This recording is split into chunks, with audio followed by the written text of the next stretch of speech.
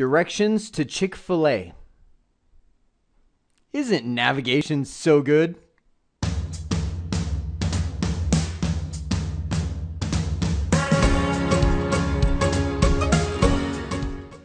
By the time we're done here, we will utilize the built-in capabilities of the Cisco IOS to enable proficient configuration processes. That's as about as official sounding as I get. In a nutshell, I'm going to show you how to get into the IOS and find your way around. Now, I've got my summary slide right here, but this is more for me than it is for you, just to make sure I cover the right stuff. So let's jump over to our HQ router. All right, so I'm back over here at the Cisco pod. All I did since the last video where I did the initial config dialog is reboot this device so we would lose all of the stuff that we put in in the initial config dialog. Uh, let's jump over the screen. You can see that I've got this thing sitting again at that same question. Do you want to enter initial config dialog? I'm going to hit no. Um, when you're first getting started on Cisco, don't be afraid to press the enter key. You'll see a lot of times just a ton of messages coming through, sometimes even looking scary, like error opening.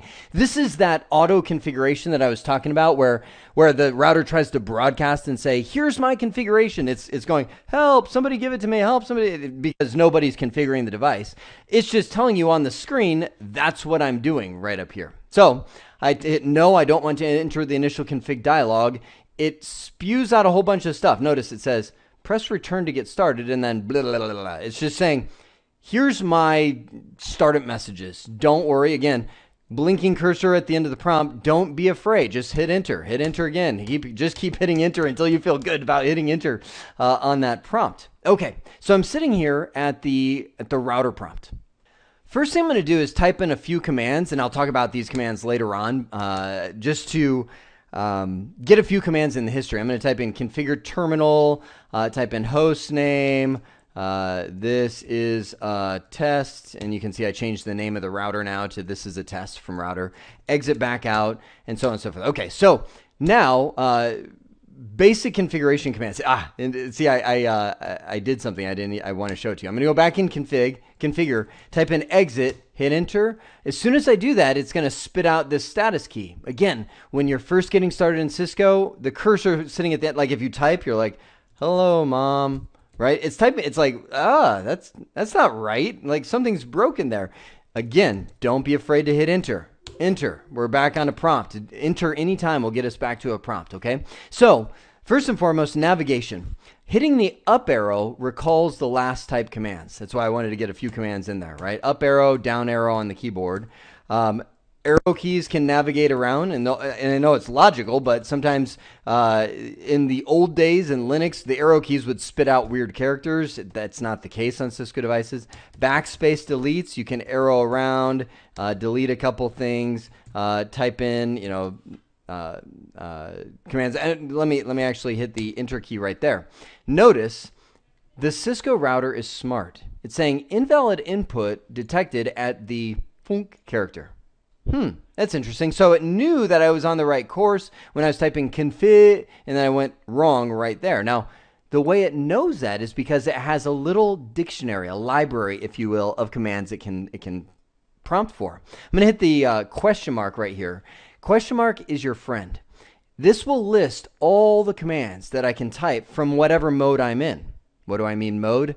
That's the next video when I talk about the different kind of configuration modes that you can have on your devices. Just for the record, when I typed in enable, I moved from user mode, which was where it was router with a little right angle bracket right there. I moved from user mode over to privilege mode. So when I hit the, the question mark right now, it's actually going over to privilege mode and saying, what commands do you want?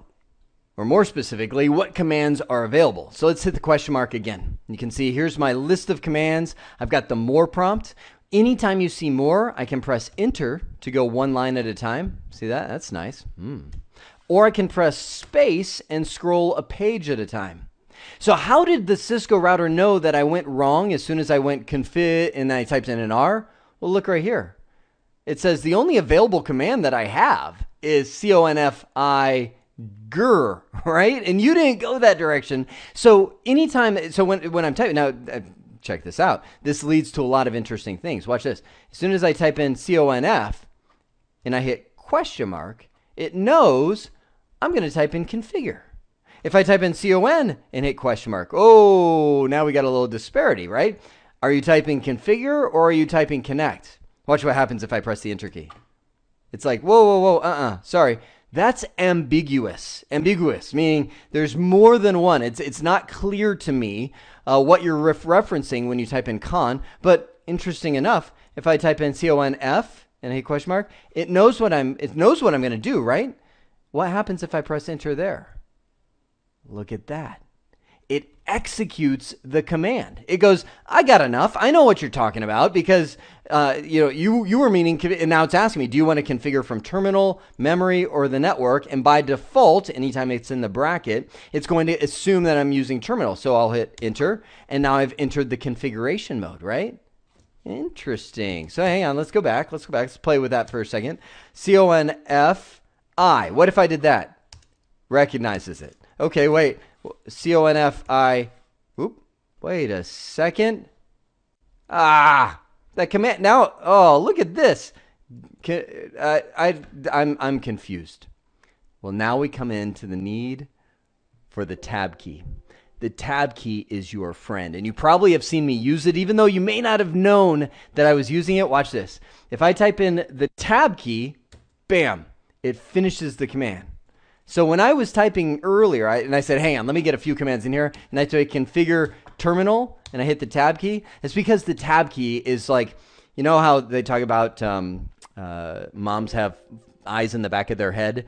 People who configure Cisco routers have fingers growing on the tab key. Like it, it just, it's always there. You're always typing tab because it helps you go so much faster. And let, let, me, let, there's so much I want to tell you. So so sorry. I'm, I'm, I'm just talking all over the place, right? So C O N, rope. I, I do it automatically. I don't know which one to type, right?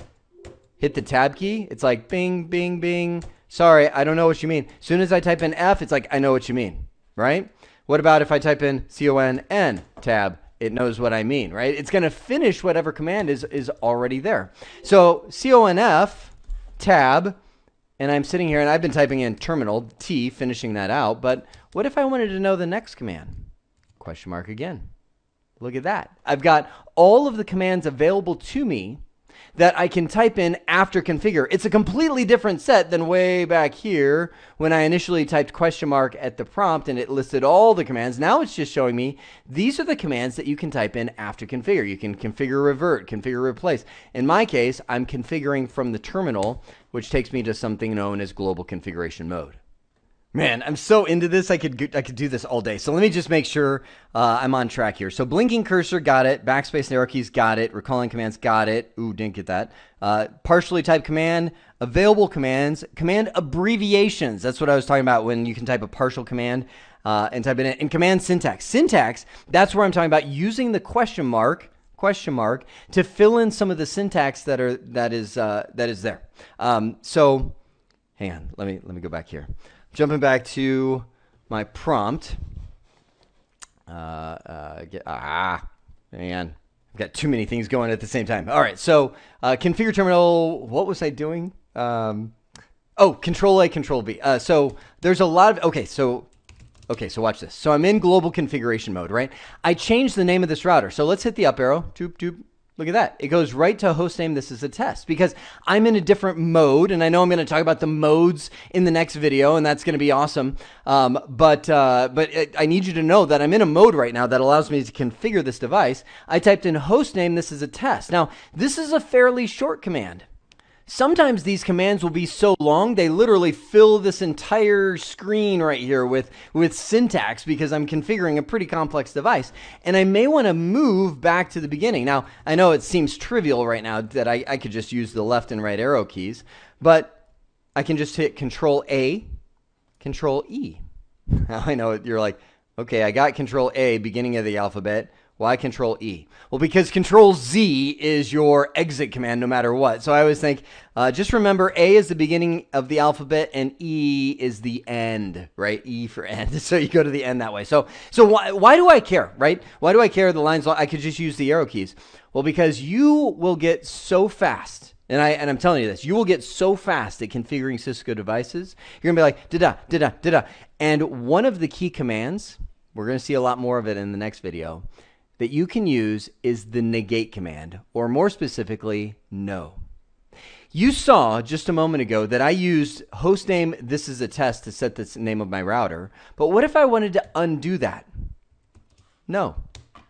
You take it back, right? Watch that. We'll do it again in slow motion. Host name. Bam. Right? Changes the name of the router. Hit the up arrow, control A, no, enter. It removes the host name. This is a test. This is going to be extraordinarily useful to you when you are doing things like um, removing IP addresses, changing passwords. Um, you typed in a command, you're like, ooh, didn't mean that. No, just removes that command out. And I want to plant that seed right now. But as it relates to navigation, that's why the Control A and Control E are so useful and used all the time. Truth be told, there are many more control characters. Matter of fact, uh, if you want to right now, I'm, I'm going to have a whole big assignment later on that, that we go through. Um, pretty much doing all of the basic IOS navigation stuff. But if you you would like to, and you're so inclined, which I would encourage you to, go to Google right now and type in um, IOS Cisco IOS control key navigation, CTRL, control key navigation, and you will get probably 20 to 50 different commands that you can use control keys and escape keys and things like that to navigate around, move quickly. But I can tell you this I've been doing Cisco a long time. I only use control A and control E and control Z, which we're going to talk about when we talk about the modes. Um, everything else, I'm like, oh, that's nice, but poof, immediately evaporates from my mind. You have now seen how we can utilize the built-in capabilities of the Cisco IOS to enable proficient configuration processes. I love when I sound so technical. I hope this has been informative for you, and I'd like to thank you for viewing.